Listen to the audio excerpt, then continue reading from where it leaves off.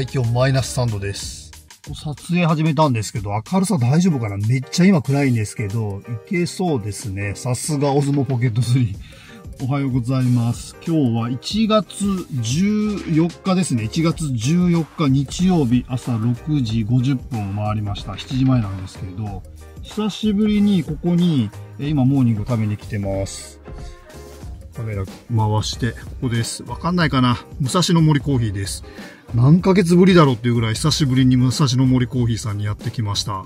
まだ今相当外暗い中での撮影なんですけど、さすがオズモポケット3という感じで、まあこういったあの暗所、まあ、暗い場所でも綺麗に、で、顔もね、かなり明るく映してくれてるんで、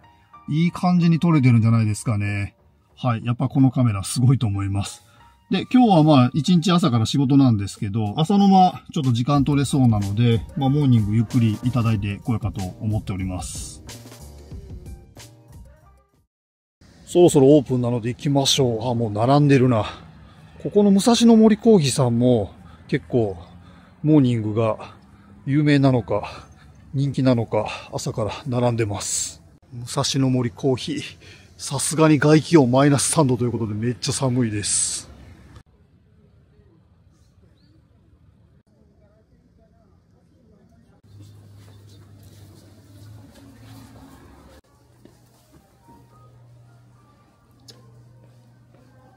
モーニングメニューですが、多分そんなに前と変わってない気がするんだけど、どうだろう。あ、変わってなさそうですね。じゃあ、いつも頼んでいるのが、この、ハムとチーズのクロックムッシュ。これにします。コーヒーはブレンドコーヒーで、で一応、ドリンク頼むと、ここもモーニングサービスで、トースト類は無料になります。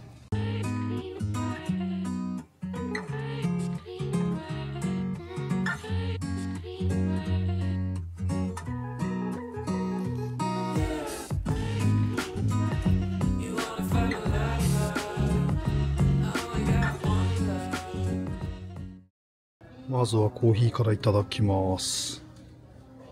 わあ、香りがいい。うん。うまい。うわ、めっちゃうまそうです。で、このお皿が赤いところはおしゃれ。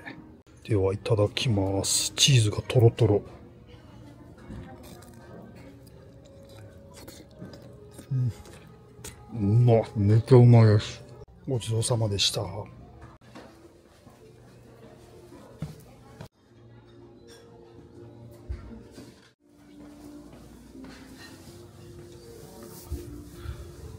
すげえ、もう朝から席待ちで並んでますね。大人気。いやーでも惜しかったです。ちょっとお高めですか。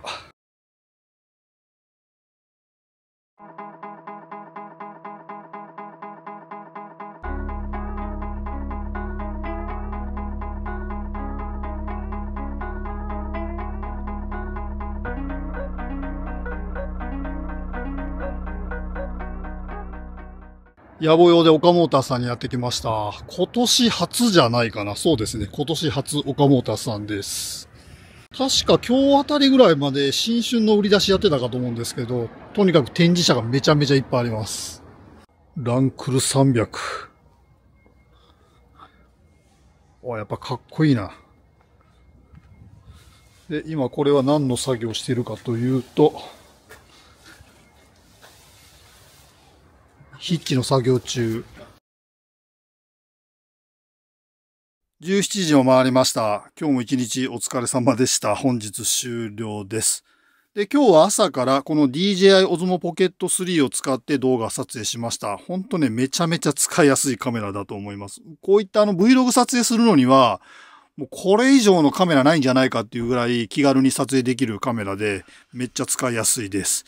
で、今日あの編集時にまた差し込みするかと思うんですが、車載タイムワープ？タイムワープって言ったらいいのかな？あの撮影っていうのは、この Osmo Pocket 3ではなくて、インスタ360 Ace Pro を使って撮影しています。まあ、このね、Osmo Pocket 3でもあいたあの、車載動画を撮ることできるんですけど、どうしてもね、このジンバルの特性上っていうのが、まあ、癖というのか、だんだんだんだんね、こう撮影している間に、こう、車のダッシュボードに設置してさ、あの、撮影してる間に、こう、右に左に、こう、上下にこう揺られながらしてるうちにね、だんだんだんだんこう、センターずれてくるんですね。なので、撮れないことはないんですけど、まあ、その都度のあの、センタリングしてやったりだとか、こう、ずれてくるのを修正してやらなきゃいけないっていう、ちょっとそういった特性があるんですけど、まあ、撮れないことはないんですが、やっぱり車載動画を撮影するときっていうのは、ああいったアクションカム、まあ、オズモポケット3以外の、えアクション4であったりだとか、あと GoPro Hero 12であったりだとか、まあ ACE Pro であったりとか、ああいったアクションカムの方がちょっと適してるのかと思っています。なので僕はあのエースプロであの車載動画っていうのを撮影するようにしてるんですけど、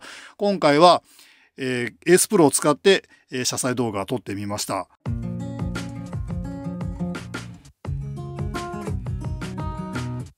で、少しね、ちょっとフォローアップ、このオズモポケット3やっとこうかと思うんですけど、あの前回の動画で、このカバーですね、この全体をカバーと、あとこのジンバルブをカバーするこのシリコンのカバーですね、ケース。これちょっと紹介したんですけど、これね、あの、かなり好評で、再生数の方もね、あの、増やしていただいて、あの、かなりの方はちょっと高評価いただいてたんですが、